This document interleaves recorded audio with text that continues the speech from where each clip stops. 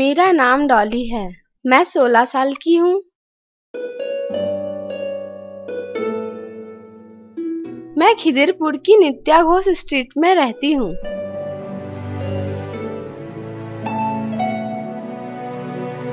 मेरे पापा एक कार कंपनी में सर्विसमैन हैं।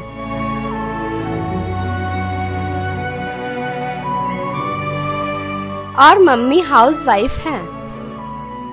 हमारे खिदिरपुर के लोग सब्ज़ी, मांस, मछली और कपड़े बेचने जैसे छोटे मोटे काम करके अपना गुजारा करते हैं।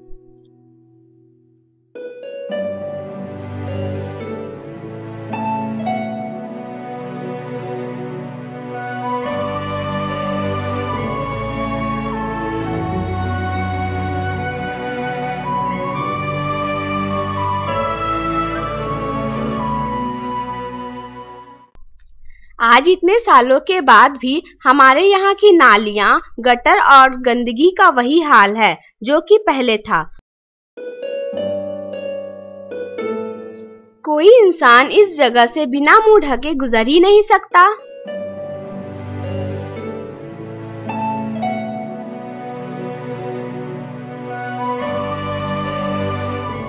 मैं काली माँ की पूजा करती हूँ। मेरे घर के पास काली माँ का एक मंदिर भी है, जहाँ मैं आती जाती रहती हूँ।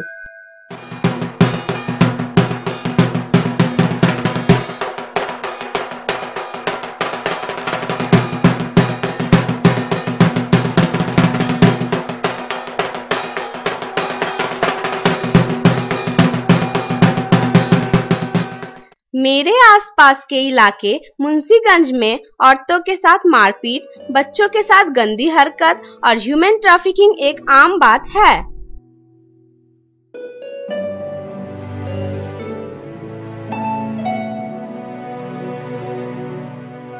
कई बार तो लड़कियों के माँ बाप मामू, चाचा या पति उन्हें सेक्स के धंधे में धकेल देते हैं।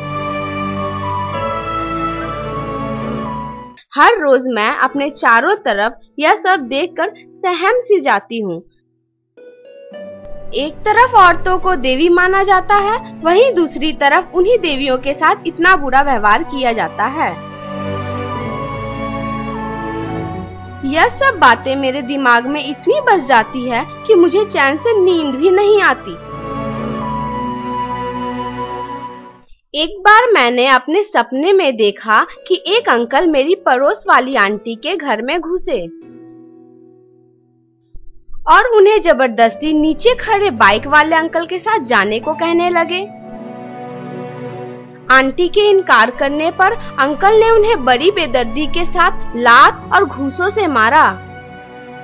और यहाँ तक कि उनकी मासूम बच्ची को भी इसी धंधे में धकेलने की धमकी दी।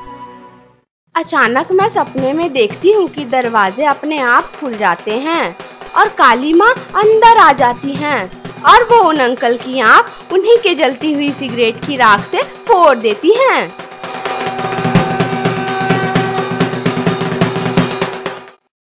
तभी मेरी आँख मंदिर की घंटियों की आवाज़ से खुल जाती हैं।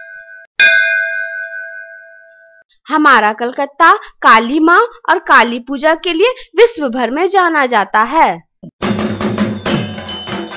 मैं काली घाट के मंदिर पूजा करने जाती हूँ।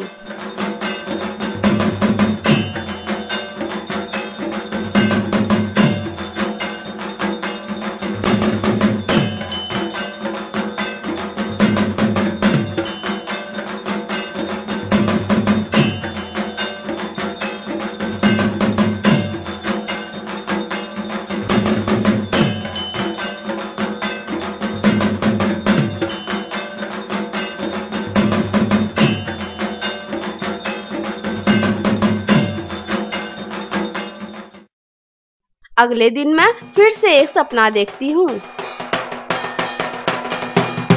कि काली माँ मंदिर में बैठी हुई हैं। तभी उन्हें औरतों की चीखने की आवाज़ सुनाई दी। माँ ये सुनकर बाहर आई। तो उन्होंने देखा, एक पुलिस की वर्दी पहने हुए आदमी खम्बे के पास खड़ी औरत की तरफ़ बढ़ रहा था। उसने उस औरत के बदन को कसकर पकड़ लिया।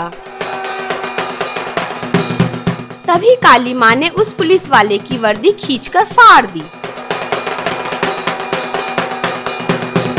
और सरेआम उसे नंगा करके उसी के तमंचे से उसका काम तमाम कर दिया। फिर वो उन औरतों को अपनी गोदी में बिठाकर ले गई। मैंने आठ साल की उम्र में अपनी दोस्त की मदद से एक सेंटर ज्वाइन किया। मुझे वहाँ जाकर बहुत अच्छा लगा। मैंने वहाँ पर बहुत सारी ट्रेनिंग भी ली, जैसे कंप्यूटर चलाना, स्टिच, डांस, ड्रामा करना और ड्राइंग बनाना।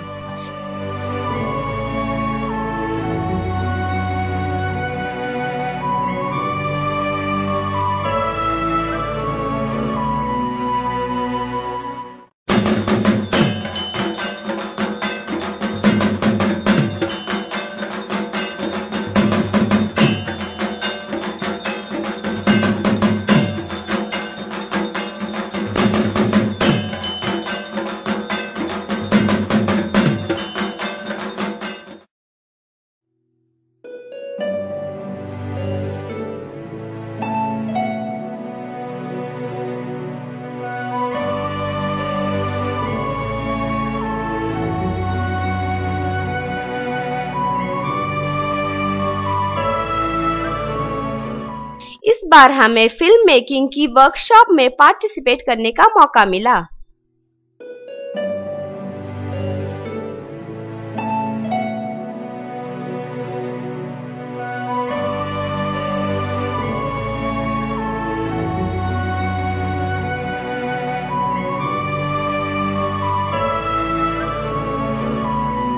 वहाँ की एक आंटी मुझे अपने सपने में आने वाली काली जैसी लगती हैं।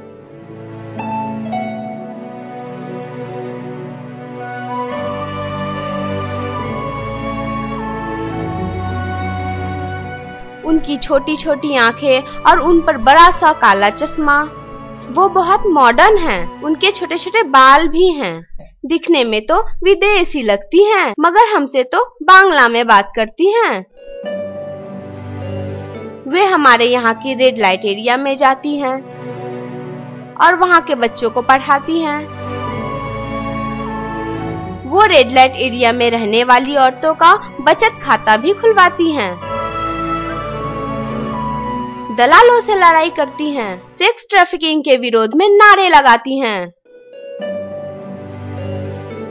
मुझे काली माँ की छवि उन्हीं में नज़र आती है। वो एक पत्थर की मूर्त नहीं बल्कि जीती जागती काली का रूप है।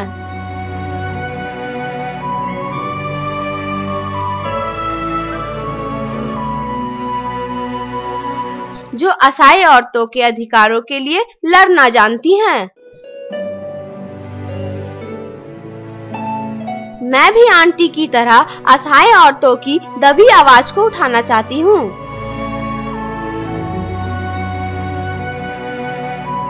मैंने सोचा है कि मैं बांग्ला सिनेमा में अभिनय के माध्यम से ऐसी औरतों की समस्या को आम आदमी तक ज़रूर पहुंचाऊँगी।